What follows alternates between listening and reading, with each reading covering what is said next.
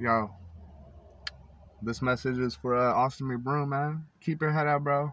Uh, I don't personally think that you did the allegations against you, bro. Uh, stay positive, and if you did do it, I'm ashamed of you, dog. But like I said, I personally don't believe you did.